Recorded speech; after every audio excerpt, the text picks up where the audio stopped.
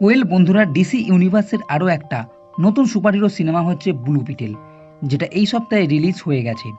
Superman ব্যাটম্যানের মতো DC universe একটা নতুন সুপারহিরো ইন্ট্রোডিউস করেছে, আর সেই হচ্ছে ব্লু বিটেল এখানে এক কোম্পানি আছে কট ইন্ডাস্ট্রি যার সিইও ভিক্টোরিয়া এক শক্তিশালী জিনিস খুঁজে বার করে, যার নাম স্কাপ এই কট ইন্ডাস্ট্রি যার নামে ছিল টেট এর মেয়ে জেনির সঙ্গে, যেই মেয়ের দেখা হয়, এবং ঘটনাচক্রে জেমির কাছে এই স্কাপ এসে পড়ে এবং হঠাৎ করেই এই স্কাপ অ্যাক্টিভ হয়ে যায় আর জেমি হয়ে পড়ে ব্লু বিটেল। আর এই জিনিসটা একটা এলিয়েন টেকনোলজি যেটা বাইরে থেকে পৃথিবীতে এসেছিল। এইবার ভিক্টোরিয়া এই স্কাপ ফেরত পেতে চায়। তার এক শক্তিশালী প্রজেক্ট ওম্যাক তৈরি করার জন্য।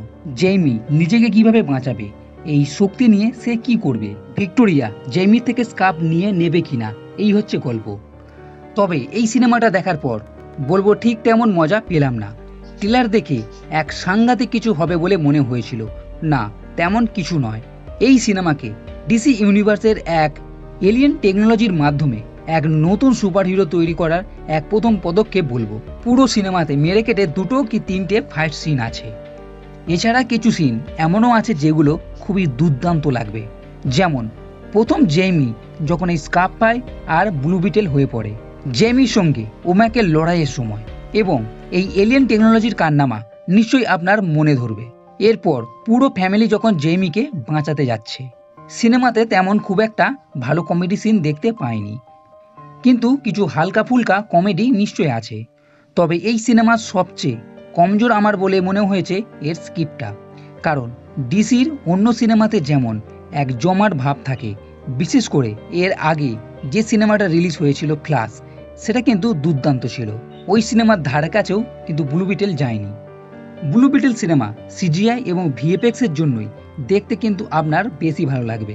এবং এই সিনেমা দেখার পর আমার এই সিনেমাকে স্পাইডারম্যানের এক আলাদা সংস্করণ বলেই মনে হলো। একদিক থেকে দেখতে গেলে কিন্তু হুবহু একই রকম লাগবে।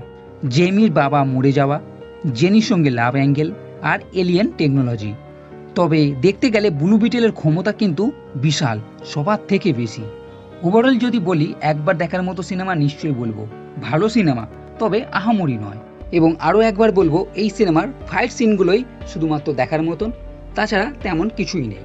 তো বন্ধুরা, এই ভিডিও যদি ভালো লেগে থাকে তাহলে লাইক করে কমেন্ট করে শেয়ার করো, আর এই চ্যানেলটি সাবস্ক্রাইব করতে কখনোই ভুলবে না। এই ভিডিও দেখার জন্য